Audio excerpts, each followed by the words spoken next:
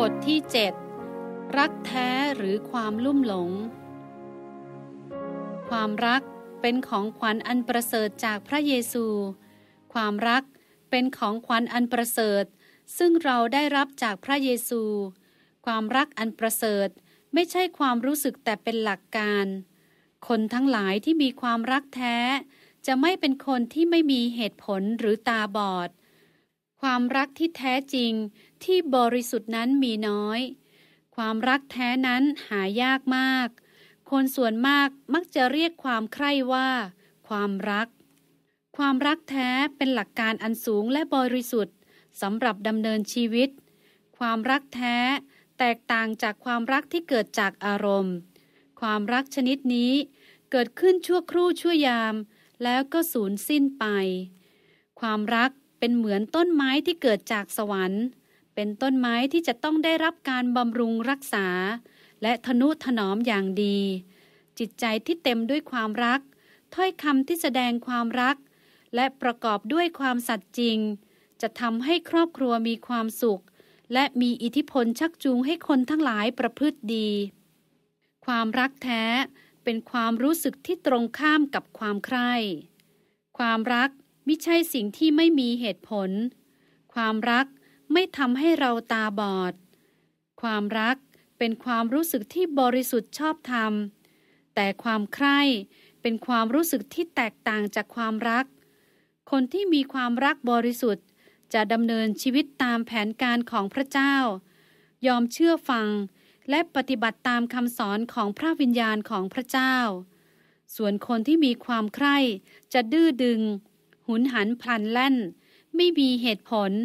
และไม่ยอมปฏิบัติตามกฎข้อบังคับใด ๆ ทั้งสิ้น เมื่อบุคคลตามที่ได้กล่าวมาแล้วนี้ รักสิ่งใด เขาก็จะยกย่องสิ่งนั้นเป็นเหมือนรูปเคารพที่เขากราบไหว้บูชา ผู้ที่มีความรักแท้ จะสำแดงพระคุณของพระเจ้า ให้ปรากฏในความประพฤติของเขา และมีความสงบเสงี่ยมเจียมตัว มีความเป็นอยู่อย่างง่าย ๆ ความจริงใจศีลธรรมและศาสนา สิ่งเหล่านี้จะปรากฏให้เราเห็นในชีวิตของคู่สมรส ที่ยกย่องนับถือ และยำเกรงพระเจ้า ชายหนุ่มและหญิงสาวที่ยึดมั่นในกฎเกณฑ์เหล่านี้ จะไม่สนใจในการและกันจนลืมตัว และเพิกเฉยละเลย ต่อการประชุมอธิษฐาน และการปฏิบัติศาสนกิจ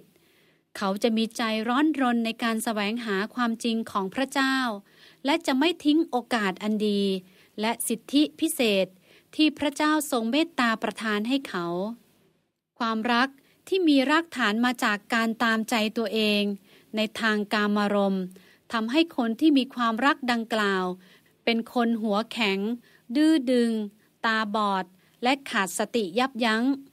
เกียรติยศ ความจริง และอำนาจจิตอันสูง ตกเป็นทาสของอารมณ์ ผู้ที่รักอย่างลุ่มหลง จะไม่ยอมฟังเหตุผล และไม่มีความรู้สึกผิดชอบ แม้ว่าจะมีผู้คัดค้านหรือวิงวอนขอร้องไม่ให้เขาทำสิ่งที่โง่เขลา เขาก็ไม่ยอมเชื่อฟัง ความรักแท้ไม่ใช่ความรู้สึกที่แสดงความดื้อดึง ร้อนรน และหุนหันพลันแล่น ตรงกันข้าม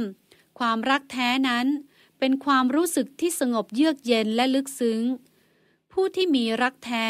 จะไม่สนใจแต่เพียงเรือนร่างภายนอก แต่จะสนใจในคุณสมบัติของผู้ที่เขารัก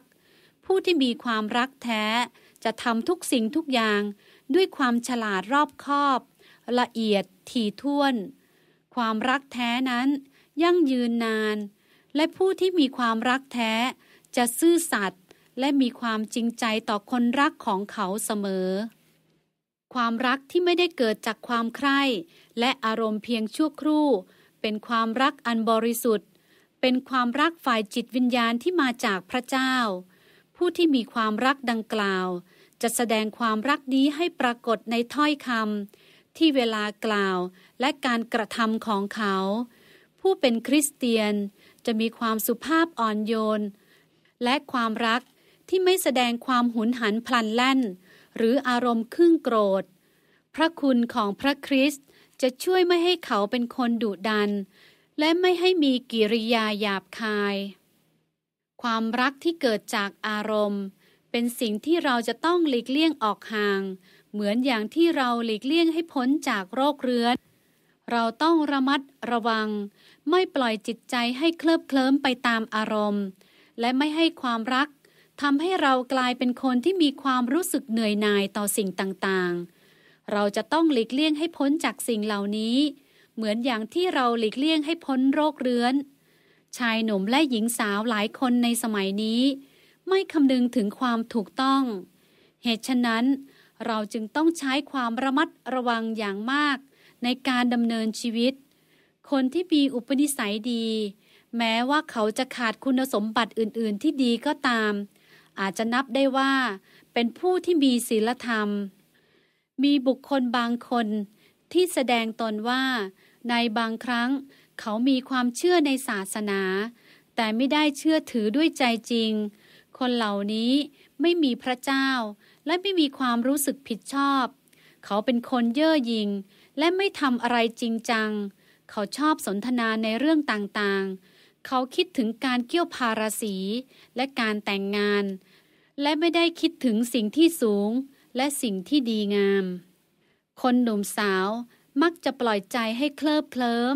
และคิดถึงเรื่องการแต่งงาน และการเกี่ยวพาราศี เมื่อความรักเป็นพิษ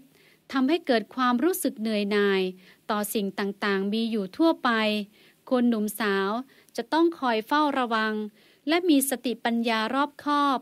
ไม่ปล่อยให้ตัวเอง ตกอยู่ภายใต้อิทธิพลชั่วร้ายนี้ บุตรสาวที่ไม่ได้รับการอบรมสั่งสอน ให้รู้จักคอยควบคุมตัวเอง เป็นผู้ที่พ่อแม่ตามใจ มีแต่ความหยิ่งพยองทำอะไรอะไรได้ตามใจ จนกลายเป็นคนดื้อรั้นเอาแต่ใจ จนท่านเองหมดปัญญาที่จะแก้ไข ซาตานกำลังชักนำให้เธอ เข้าไปในหมู่ของผู้ขาดความเชื่อ เพราะความกล้าทำในสิ่งที่ผิด และขาดความสงบเสงี่ยมเจียมตัว ตามวิสัยหญิงที่ควรเป็น เช่นเดียวกับบุตรชายที่พ่อแม่ ปล่อยให้เขาทำอะไรอะไรตามใจชอบ ยังไม่ทันจะพ้นวัยรุ่น เด็กหนุ่มเหล่านี้ก็จับคู่กับเด็กหญิงรุ่นราวคราวเดียวกัน เขาพาเด็กหญิงไปส่งบ้าน และแสดงความรักต่อเด็กหญิงรุ่นสาวเหล่านั้น พ่อแม่ ก็ไม่มีอำนาจจะบังคับเด็กหนุ่มสาวเหล่านี้ได้ เพราะเคยตามใจจนเสียนิสัย เขารักลูกในทางที่ผิด และไม่กล้าตัดสินใจอย่างเด็ดขาด ที่จะดัดแปลงแก้ไข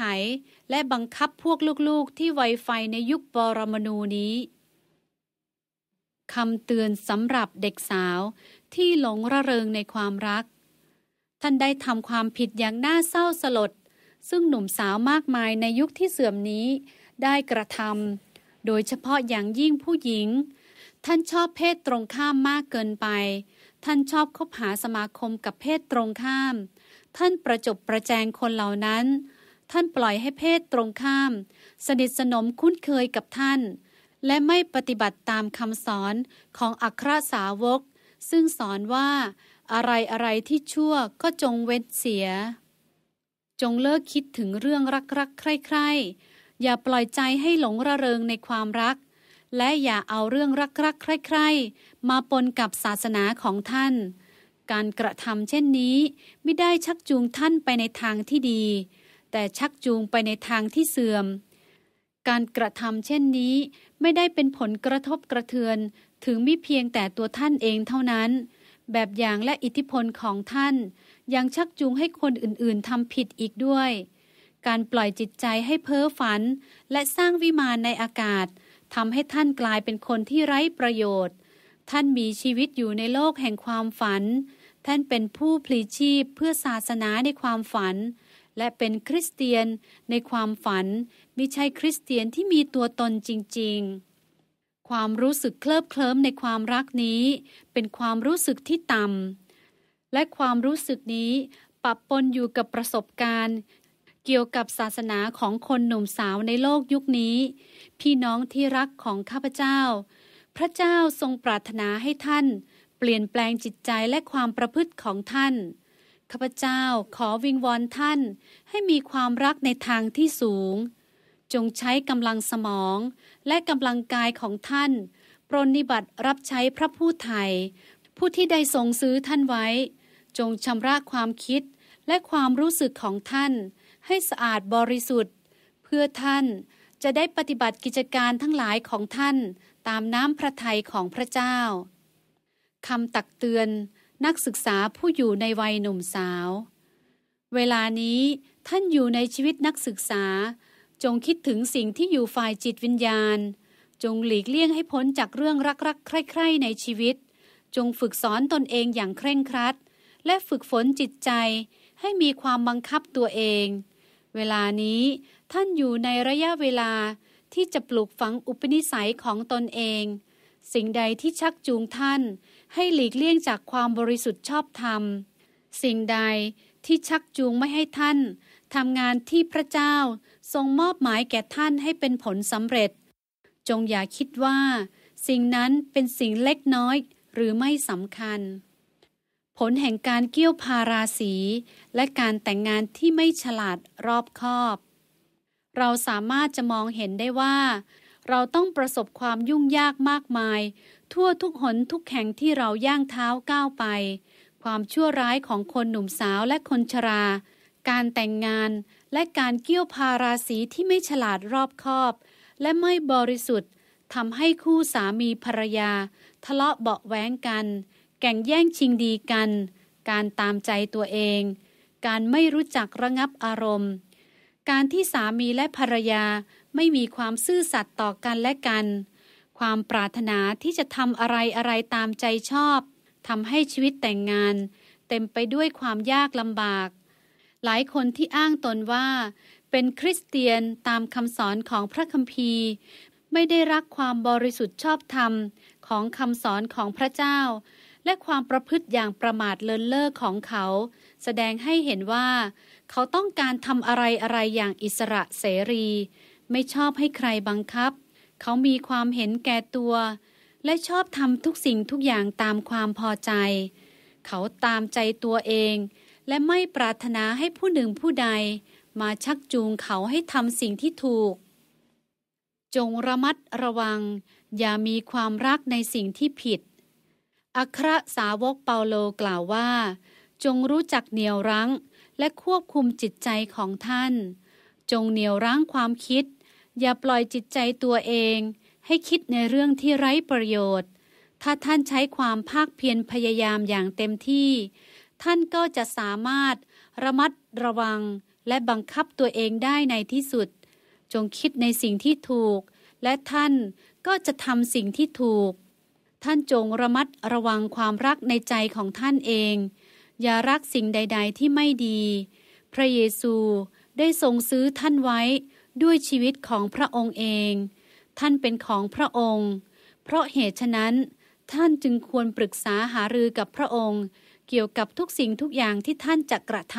ำเพื่อพระองค์จะแสดงให้ท่านเห็นว่า ท่านควรจะบังคับจิตใจ และรู้จักใช้ความรักของท่านในทางที่ถูกอย่างไร อ้างอิงจากข้อพระคัมภีร์หนึ่งเทสโลนิกา บทที่ห้าข้อ 22